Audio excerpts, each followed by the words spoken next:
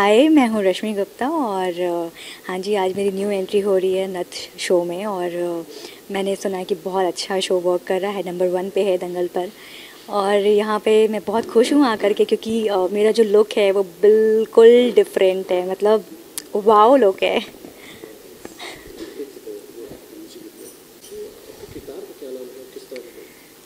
तो मैं, मेरा जो रियल नेम है वो है रश्मि गुप्ता और जो मेरा रियल नेम है वो है तारा। तो मैं तारा बन के आई हूँ। आसमान का तारा। टूटता तारा, वो तारा। हम्म। तो ये लोग अपने आप में बहुत कुछ कह रहा है। मतलब मैं पूरी ऊपर से लेके नीचे ज्वेलरी तक ज्वेलरी में डब- डूबी हुई हूँ। जैसे कि आप देख रहे हैं, ये घाघरा है। फिर मैंने वेस्ट पे एक ज्वेलरी बांधी है। फिर मेरा एक रामपुरी है, जो कि मेरे पास हमेशा रहता है। फिर आप देख रहे हैं कि मैंने ऊपर भी पूरी ज्वेलरी पहनी हुई है। मैंने मांग टीका पहना है। मैंने मांग टीका तो बहुत इंपॉर्टेंट है। और ये रहा छोटा सा नोज़ पिन जो कि बहुत अच्छा दिख रहा है मुझ पर। और ये कान का आप देख सकते हैं। तो मतलब ये पूरा जो गेटअप है ना, मैं ऊपर से लेके नीचे तक ज्वेलरी में लदी हुई हूँ। और यहाँ पे जितने भी आर्टिस्ट हैं वहाँ, उनसे बहुत डिफरेंट लुक है।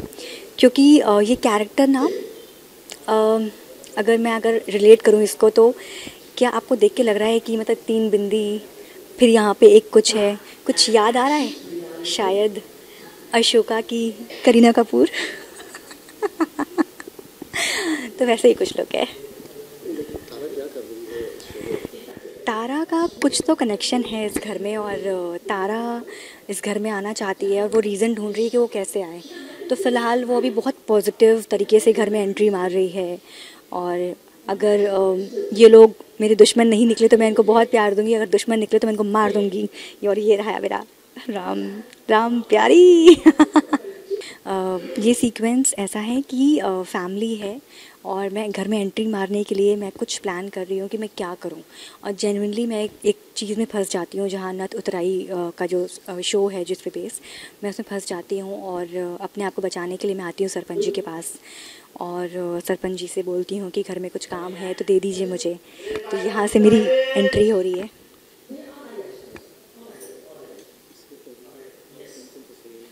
तो आपने मुझे इसके पहले देखा होगा गुड्डन तुमसे ना हो पाएगा, जो कि मैं उसमें सरू बहू, सरस्वती बहू प्ले कर रही थी। मुझे पता है आप सबको याद है, याद रहेगा।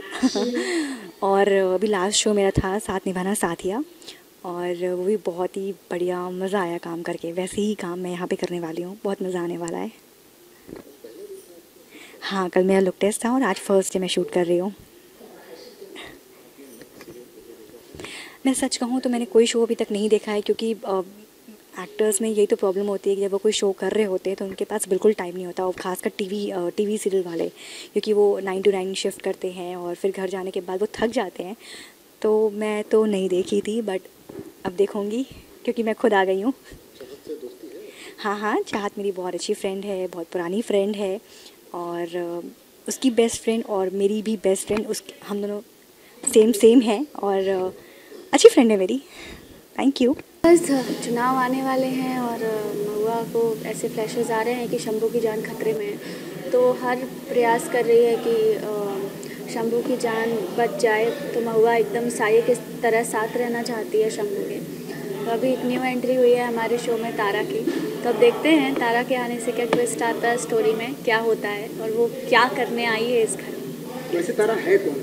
हाँ तारा अभी तो ज- जैसा कि हमें बताया है वो ऑडियंस पॉइंट ऑफ़ व्यू से अभी तो वो बस गाँव की कोई लड़की है जिसको नथुतराई ज़बरदस्ती बना रहे हैं वो भागते भागते हमारी हवेली में आ जाती है मदद मांगने के लिए। और पर अब देखना होगा कि वो एक्चुअली में ऐसी है या उसके पीछे कुछ और है इरादे कुछ और हैं उसके।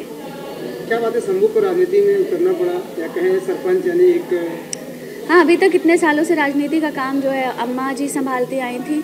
अब शंभू को दिया गया है तो इस बार चुनाव में शंभू खड़े होंगे। अच्छा वो आपके रियल दोस्त भी है जो फ्रेंड तारा के हाँ हाँ हाँ। है वो रश्मि है and she is very cute और बहुत अच्छी है बहुत प्यारी है और अच्छा लगा मुझे उसके साथ काम करके। पहले हमने कभी शूट नहीं किया हम शूट पे कभी नहीं मिले। पर हाँ मेरी फ्रेंड है उसके थ्रू हम लोगों की मुलाकात हुई है कई बार। सो ऐसे हम एक दूसरे को जानते हैं। सो अच्छा लग रहा है मज़ा आ रहा है उसके साथ काम करके। अभी डेढ़ सौ एपिसोड आप लोगों के कंप्लीट हो रहे हैं क्या कहेंगे? होने वाले हैं। आ, कल हमारे डेढ़ सौ एपिसोड्स पूरे हो जाएँगे। And I am very very happy ऐसे ही हम एपिसोड्स बनाते जाएँ बनाते जाएँ बनाते जाएँ। और ऐसे ही हम फाइव हंड्रेड थाउज़ेंड एपिसोड्स पूरे करते जाएँ अपने। उन दर्शकों को क्या कहेंगे जो आपको यहाँ पे पहुँचा है? और काफ़ी लोकप्रिय रहा उनके तक बिल्कुल मैं तो यही हाँ हमारा शो नंबर वन है आप सबकी वजह से। और आज हमारे शो को इतना पसंद किया जा रहा है और हम अगर 150 एपिसोड पूरे कर पा रहे हैं तो वो भी आप लोगों की बदौलत। So thank you so much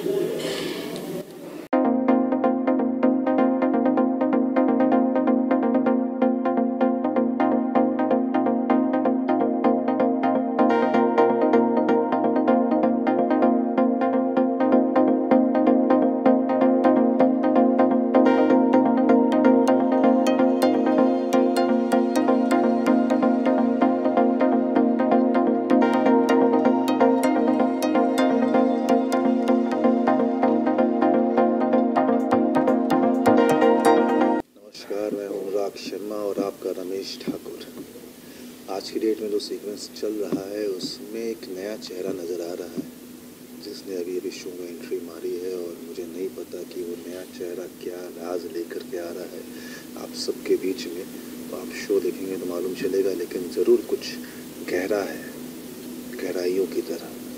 Ramesh Thakur, Avtar, Shambhu, अम्मा जी की ज़िंदगी में कुछ तो मसाला घुलने वाला है।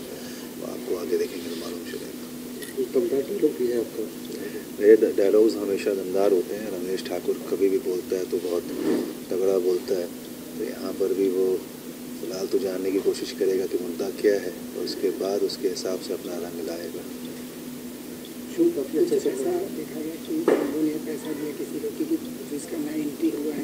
अच्छा तो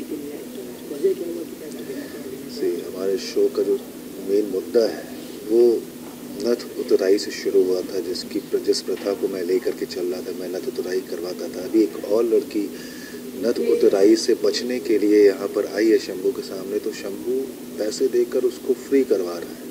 जिसने उसको खरीदा है, उसको बोल रहा है कि भाई पैसे लो, अपने जाओ, ये लड़की आज़ाद है। तो आज की डेट के हिसाब से हमेशा ऐसा ही होना चाहिए, हमें महिलाओं को, बच्चों को, बुज़ुर्गों को सपोर्ट करना चाहिए, और इस तरह के मुद्दे तो ये पुराने हो गए अभी आज। के रह नहीं। जी। हम बहुत खुश हैं। हम जब शुरुआत हुई थी तो हमें नहीं पता था कि हम इतनी आगे तक जाएँगे, लेकिन यहाँ तक पहुँचने का श्रेय आप सभी को जाता है। आपका प्यार है जो हमें आज भी चैनल में नंबर वन बना करके रखा हुआ है। तो सबको बहुत बहुत धन्यवाद। मेरे साथ डेढ़ सौ एपिसोड आप भी इंजॉय करिए। आगे दो सौ हो ढाई सौ, तीन सौ, हज़ार हो। जी, आपके ऐसे एक बात आप जब भी यहाँ कोई लड़की आती है, नहीं, आप उसको रास विलास में ले जाते हैं? देखिए, रमेश ठाकुर का कैरेक्टर ही ऐसा है। देखें मतलब चाहे वो कास्टिंग आपने बड़े बड़े धमाके, बम पटाखे फूटते देखे तो अब ये नई एंट्री जो आई है, ये वापस हम लोग जो जहाँ से शुरुआत किए थे नथ की, जो नथ का जो थीम था, नथ उतराई का तो उसमें एक बार फिर से एक नई लड़की जो आके इस प्रथा के ऊपर जो बुराइयाँ हैं, फिर से हम रिमाइंड कराना चाह रहे थे ऑडियंस को। तो रेगुलर जो ड्रामा है, उससे अलग हट तो नए तरह से ये चीज़ सामने आएगी फिर से। मतलब आप देखेंगे एपिसोड के अंदर और शंभू जो है इलेक्शन लड़ रहा है और इलेक्शन के अंदर वो ये बात सामने रखेगा कि हाँ कि हम इस प्रथा को पूरी तरह से नकारते हैं, इसका बिल्कुल समर्थन नहीं करते हैं। ये हाँ आज की यही सीक्वेंस है। यही सीक्वेंस है कि नई लड़की आती है और वो पैरों में गिर जाती है। महुआ के और शंभू के। तो दोनों ही उसका साथ देते हैं। और अम्मा जी भी बोलती हैं, फैसला जो है अब नया सरपंच करेगा, जो कि अब शंभू होने वाला है, मेरा बेटा। तो मैं भी खुश हूँ कि मेरा बेटा कुछ नई चीज़ें करने वाला है। पर कहीं अंदर से अम्मा जी और अवतार दकियानूसी भी हैं तो हमें अचंभा भी होता है कि यार ये क्यों कर रहा है ऐसा? लेकिन बच्चा है हमारा, जो करेगा साथ देंगे। तो घर में भी रहने की इजाज़त दे दी है हाँ घर तो मतलब मैं तो यही बोलता हूँ कि हमारा घर थोड़ी धर्मशाला है, किसी को भी आके जगह दे देते हैं। मेरी बात सुनता नहीं कोई इस घर के अंदर, खासतौर पे अम्मा जी सबको चुप करा देती हैं मतलब चुप तो चुप उनके आगे चुप रहना पड़ता है। मैं किसी के आगे भी चुप नहीं रह सकता, लेकिन हाँ अम्मा जी के आगे मुझे भी चुप रहना पड़ता है। तो इस घर में जगह दी जाएगी उसके और वो लड़की के पीछे कई राज हैं जो आगे आके खुलेंगे कि हाँ ये लड़की किस मकसद से आई है। और उसका मकसद क्या है और क्या उसकी बैकग्राउंड हिस्ट्री है और शायद हम उसे मारना चाहते हैं। हैं हाँ आप सभी का जो जो नथ देख रहे हैं जिन्होंने हमें इतना ढेर सारा प्यार दिया है नथ की ऑडियंस ने हम चाहते हैं और भी प्यार दें। हमने 150 एपिसोड पूरे कर लिए हैं और भगवान करे 1500 एपिसोड हम और पूरे करें फिर आपके सामने इस तरह से बात करते नज़र आए। बहुत बहुत धन्यवाद आप लोगों का देखने के लिए।